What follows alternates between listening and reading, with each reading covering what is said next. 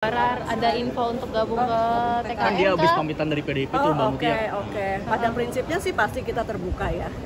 Eh, tapi belum ada sih. Komunikasi Seperti apa? Eh, setahu saya belum. Tapi pasti TKN terbuka.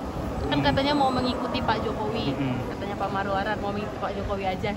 tanggapannya dari Golkar gitu kan sebagai koalisi Ya, ya. Pak Jokowi gitu. Ya kan kalau gitu sinyalnya udah clear ya Hmm.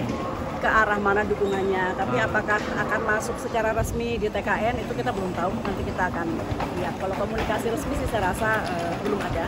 Tapi sekali lagi TKN terbuka tangannya. Apalagi beliau ya tokoh pemuda yang sangat aktif dan sangat giat eh, apa berdiskusi dan juga membina anak-anak muda di berbagai daerah. Tapi kalau Bang Ara tiba-tiba masuk ke Golkar Hmm. gimana?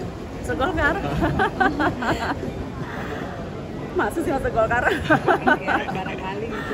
Eh, saya dengar mungkin eh, ke tempat lain, Oh. tapi masih ya baru dengar-dengar aja. Tapi sekali lagi Golkar juga terbuka aja ya, kita senang-senang aja. Tapi rasanya kalau mengenal Ara kan saya kenal Bang Ara juga ya. Mungkin nggak ke Golkar, mungkin ke tempat lain. Tempat lain tapi masih dalam satu koalisi yang mendukung. Ya dalam satu koalisi, pasti dalam satu koalisi. Partai Nggak ada dulu, nggak ada. Mbak, kemarin juga Bang Ara sebelum eh, pamitan ke PDIP ke ketemu Pak Jokowi juga di istana tuh ada fotonya. Ada info nggak di Golkar soal itu? pertemuannya apa? Eh, pertemuan di Enggak istana. sih enggak, tapi ya wajar kan beliau memang terbuka menyampaikan akan mengikuti Pak Jokowi. Jadi pasti minta arahan Pak Jokowi. Oh. Berarti ini bisa dibilang Pak Jokowi sudah tidak di PDIP atau gimana sih Mbak melihatnya Loh pada Pak, seperti ini? Pak Jokowi masih di PDIP kan. Ini tidak berarti serta merta mengatakan Pak Pak Jokowi tidak di PDIP. Oke.